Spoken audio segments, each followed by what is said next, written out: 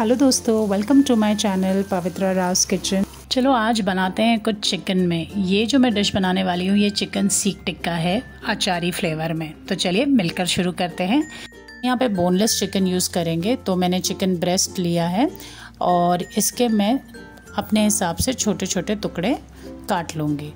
मैं जब भी चिकन का बोनलेस पीस खरीदती हूँ तो मैं ध्यान देती हूँ कि मैं पूरा ही खरीद लूँ ताकि मैं फिर घर लाकर उसे अपने तरीके से काट सकूँ। क्योंकि जब भी हम शॉप में ख़रीदते हैं चिकन तो वो फिर आड़े टेढ़े शेप में काट कर दे देते हैं तो मुझे वो पसंद नहीं आता तो मैं हमेशा खुद इसे काटना प्रेफर करती हूँ। आपको ऑनलाइन आसानी से चिकन टिक्का पीसेस मिल जाएँगे, लेकिन वो फ्रोज़न और प्रिजर्वेटिव वाले होते हैं तो मुझे लगता है वो अनहेल्दी है। तो वो एडवाइजेबल नहीं है। तो क्योंकि मैं यहाँ पे सीख का इस्तेमाल करने वाली हूँ तो मुझे ये स्क्वायर शेप में छोटे छोटे पीसेस चाहिए, कुछ इस तरह से। तो मैं इस तरह से काटने वाली हूँ। दोस्तों, अगर अभी तक आपने मेरे चैनल को सब्सक्राइब नहीं किया है तो जल्दी से सब्सक्राइब का बटन दबा दीजिए और बेलाइकन भी दबाइए, ताकि आपको मेरे सारे रेसिपीज़ के नोटिफिकेशन मिल सके। देखिए, मैंने सारे चिकन पीसेस को काट लिया है। अब हम अपना मसाला तैयार करेंगे। के लिए हमें लगेंगे सात से आठ लहसुन की कलियाँ, दो छोटे टुकड़े अदरक के, एक टीस्पून हल्दी डालेंगे इसमें, दो से तीन चम्मच रेड चिली पाउडर, आप जितना तीखा खाते उस हिसाब से डालिए। दो छोटी चम्मच धनिया पाउडर डाल देंगे और एक छोटी चम्मच गरम मसाला पाउडर भी ऐड कर देंगे। अब मेरे पास घर पर बनाया हुआ ये दही है तो मैं वो भी एक चम्मच डाल रही हूँ और नमक स्वाद अनुसार आप डाल दीजिए। अब हम इसमें डालेंगे अचार। ये मेरे पास मैंगो का अचार है। आप कोई भी कंपनी का अचार यूज़ कर सकते हैं। बस डालते वक्त ध्यान दीजिएगा कि गुठलियाँ ना इसमें पड़ जाए। हो सके तो मैंगो का ही अचार यूज़ कीजिए। इसका फ्लेवर बहुत अच्छा आता है इसमें। और ये देखिए, कुछ इस तरह से आपको इसका स्मूथ पेस्ट बना लेना है। अब हम चिकन को मैरिनेट कर लेंगे। ये बिल्कुल ही स्मूथ पेस्ट है, देखिए।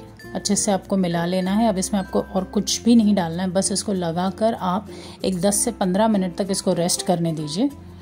दोस्तों 15 मिनट ऑलरेडी हो चुके हैं तो अब हम इनको स्क्यूअर कर लेंगे। ये मेरे पास कुछ स्क्यूअर्स पड़े हैं। अगर आपके पास ना हो तो कोई बात नहीं, आप इनको तेल में शैलो फ्राई भी कर सकते हैं, ढककर आप पका सकते हैं इनको। बहुत ही बढ़िया लगते हैं। मैंने खुद ट्राई किया है बिना स्क्यूअर्स के। बहुत अच्छे बनते हैं। क्योंकि आज की जो रेसिपी है, वो सीख चिकन टिक्का है तो हम सीख का इसमें इस्तेमाल कर रहे हैं। तो मैंने सारे चिकन के पीसेस अब इसमें लगा लिए हैं। अब हम इन्हें फ्राई करते हैं। देखिए, मैंने लिया है इस तरह का चपटा तवा। चाहे तो फ्राइंग पैन में भी कर सकते हैं, जैसे मैंने आपको बताया, लेकिन क्योंकि हम सीख में बना रहे हैं तो मुझे इस तरह से तवे का इस्तेमाल करना पड़ रहा है। मैंने यहाँ डाला था तीन से चार चम्मच तेल, और पहले मैं इनको इस तरह से इस पर पका लूँगी। हमको इसको ढक कर पकाना है। तो इनको एक बार उलट पलट करके हम इनको ढक कर तकरीबन चार से पाँच मिनट तक पका लेंगे।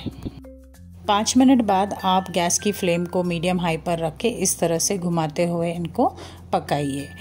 आप फोक की मदद से चेक कर सकते हैं कि ये पक गए हैं या नहीं। देखिए, अगर आपका फोक आसानी से इसमें जा रहा है तो इसका मतलब ये ऑलमोस्ट पक चुके हैं। तो आपको इस तरह से इन्हें चेक कर लेना है। अब हम तवे को गैस पर से हटा लेंगे और हम एक एक सीख को गैस की फ्लेम हाई करते हुए इस तरह से पकाएँगे। बहुत ही अच्छी खुशबू आ रही है दोस्तों। ये करने में बहुत मज़ा भी आता है और एकदम रेस्टोरेंट वाली फीलिंग आती है। और देखिए, बिना जले, बिना तंदूर, बिना ओवन के हमारे चिकन सीख टिक्का अचारी फ्लेवर में बन रहे हैं। एक एक करके हम सारे सीख को इसी तरह से रोस्ट कर लेंगे। इससे हमें स्मोकी फ्लेवर भी मिलेगा बहुत ही आसान रेसिपी है जैसे मैंने आप लोगों को बताया। और ये बहुत जल्दी भी बन जाती है। बस थोड़ी सी मेहनत है लेकिन खाने में भी उतना ही अच्छा लगेगा। सो so, दोस्तों हमारा चिकन रेडी हो चुका है। अब हम लेंगे एक पैन गैस की फ्लेम लो रखेंगे और हमारे सारे चिकन के पीसेस सीख में से निकाल लेंगे। देखिए कुछ इस तरह से हमें इन्हें निकाल लेना है। और अब हम इसमें डालेंगे दो चम्मच बटर बटर को हम इस तरह से चिकन में ऐड करके अच्छे से इसको टॉस कर लेंगे। देखिए कुछ इस तरह से।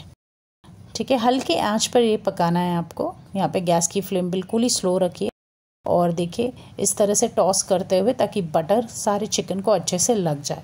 अब हमारा लास्ट इंग्रेडिएंट है चाट मसाला। मैं इसमें आधा चम्मच चाट मसाला डाल रही हूँ और फिर से इसको इस तरह से टॉस कर रही हूँ ताकि चाट मसाला भी सारे चिकन पीसेस पे अच्छे से लग जाए।